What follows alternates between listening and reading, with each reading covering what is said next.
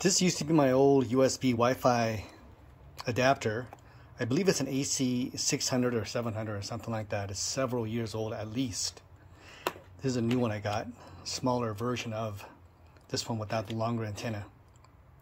I was curious to see, or I was curious to know if this would be just as good, if not better than this. It's supposed to be because it's an AC 1300 and it says it's uh, at 2.4 gigahertz. It says it goes 400 megabits, and at 5 gigahertz it does 867 megabits.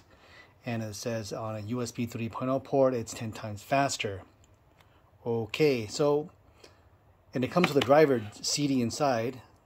So I first tested this. Well, when I tested this, my old one, I'm getting about 150 megs and about 22 up. So 150 down, 22 up on a Ethernet connection, wired Ethernet connection, I will get about 250. So on a wireless, I'm getting only about 150 using this. Now, when I plug this in, on a USB, again, again um, let me say that on a USB 2.0 or 3.0 plug, I'm getting 150 on this one with the old one.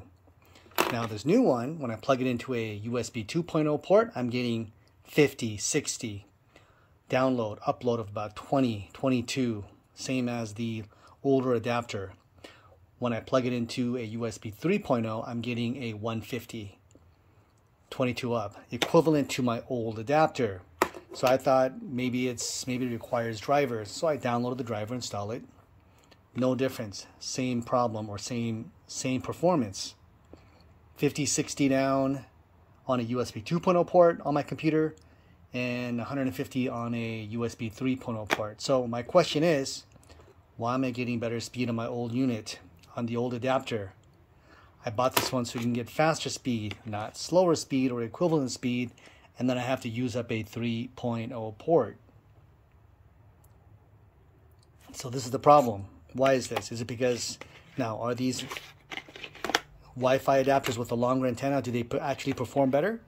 It doesn't say it in the description, but from what I'm seeing here, it seems to be. Or is there just something intrinsically, I don't know, misleading about these new AC1300s.